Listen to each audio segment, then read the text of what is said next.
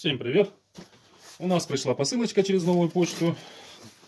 Прислали технику на ремонт. Если у вас э, также есть желание отправить посылку мне на ремонт, отправляйте связь со мной по вайберу. Снимем контент и отправим вам уже исправленную технику. Сейчас посмотрим, что нам прислали. Заявлена мультиварка.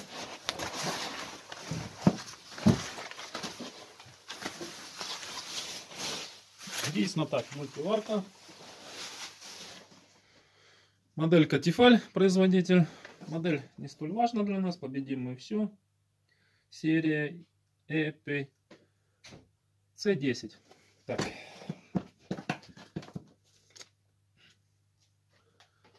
Насколько я помню, после, э, во время переписки владелец заявил, что она не включается. Коннектим сетевой кабель. Подключаем.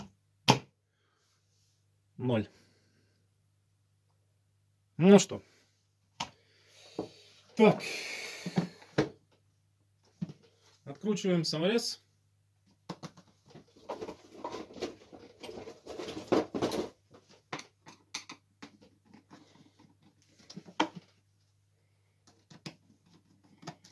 Теперь у нас против часовой проворачиваем вот здесь крышечку.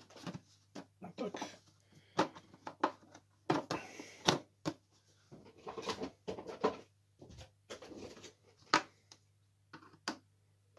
Оп. Так, и самое главное у нас, самое первоначальное, очень частая проблема мультиварок, это безопасность. Э, здесь установлены термопредохранители.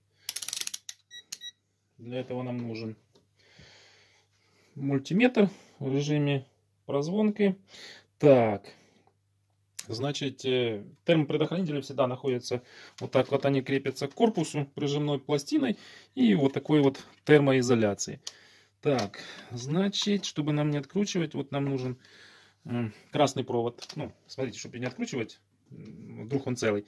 Вот самое проще так проверить. Два провода выходит. Один сюда, а второй пошел на вилку сюда. Так. Так, так. Рабочий. Хорошо. Теперь берем, вот синий идет. Вот второй термопродохранитель. Тефаль, ну, более-менее дорогой сегмент рынка. То есть, вот он. Вот второй. Ага, ну вот, на дорогих мультиварках будут стоять два термопредохранителя. То есть мы идем, теперь перекидаем сюда щуп, там где синий провод выходит на вилку. И он у нас идет вот на силовую плату. Ну вот, а он не прозванивается. Все.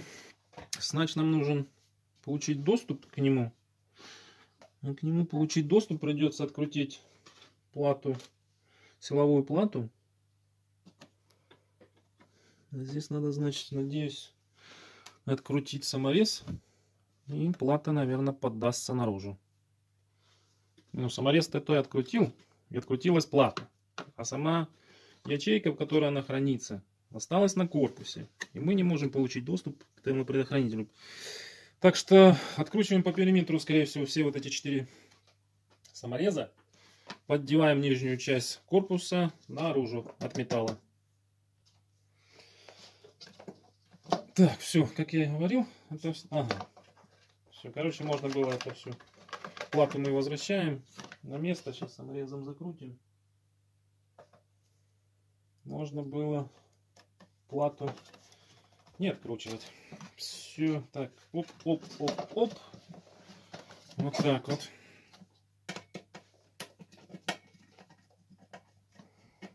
Ну, мультиварочка, вижу, здесь уже коррозия по корпусу, то есть она уже лет 5 отработала довольно-таки неплохо.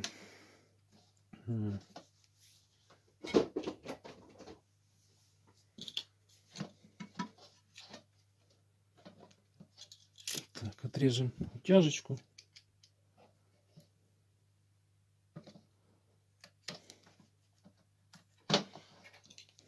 Есть. Так, снимаем. Не, не снимаем, ну да, снимаем. Протягиваем изоляцию. Вот, вот такой он, этот термопредохранитель. И теперь непосредственно на, уже на э, выводы кидаем тестер.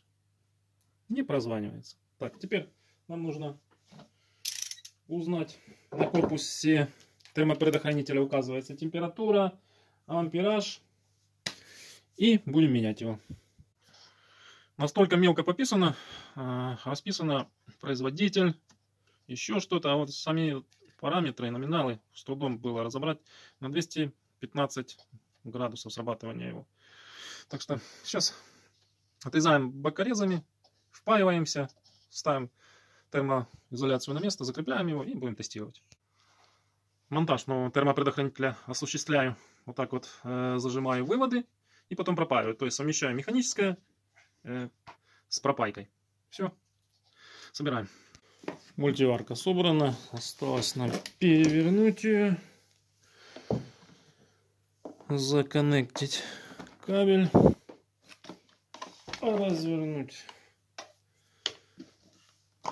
к нам передом. Передом подключаем к сети. Вуаля! Индикатор светится. Так, что у нас тут?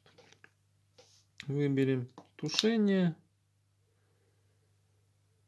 Ну что, звукового сигнала здесь не присутствует.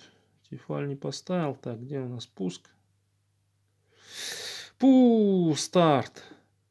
Есть. Сейчас проверим. А, без крышки не работает. Так, ну, слышу звуковое срабатывание релюшки. То есть я думаю, мне интересно проверить, идет ли нагрев. Да, тепленько. Все. Можно отключать. Все. Отремонтировано. Поставьте лайк техническому каналу. Всем пока-пока.